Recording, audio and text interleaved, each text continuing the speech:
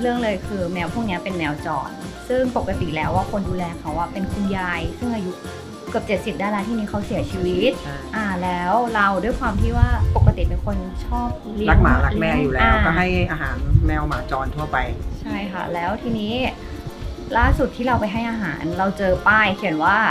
ยายเสียชีวิตแล้วห้ามให้อาหาร ด้วยความที่เราก็ตกใจอุ้ยแบบคนแถวนี้ต้องรังเกียจน้องแน่ๆเลย เราก็เลยแบบว่าคิดวิธีว่าจะเอาน้องออกมายังไง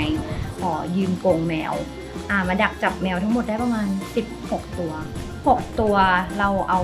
มีคนมาขอไปแล้วใช่ใช่ไหมแล้วก็ตามมันหาบ้านให้น้องหาอยู่บ้านให้น้องแล้วสุดท้ายคือเหลือ 9 ตัว ไม่รู้จะเอาไปไหนแล้วเอามาพักไว้ที่นี่ก่อน อ่า พอพอวันที่เอามาพักเนี่ยแฟนเขาคุยกับน้องๆอ่าถ้าสมมติว่ามีโชคอะไรเงี้ยไม่ต้องไปไหนนะลูกเดี๋ยวอยู่ด้วยกันที่นี่เดี๋ยวยกบ้านให้หลังเลยอืมอันนี้ก็เลยมีโชคใหญ่อันนี้ผมใช่ก็เลยแบบทำตามคำพูดที่ว่าพูดกับน้องไว้ไม่ว่าจะโชคเล็กโชคโชคโชคใหญ่ห รือว่าเล็กอย่างเงี้ยเราก็ยกบ้านให้น้องอยู่ดี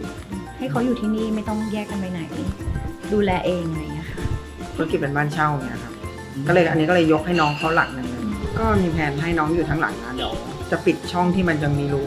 อยู่อย่างเงี้ยก็คือเหมันให้น้องวิ่งเล่นทั้งข้างล่างทั้งบนแล้วถ้ายังเจอแมวจรที่มันน่าสงสารเราก็จะเอาเข้ามาไว้อีก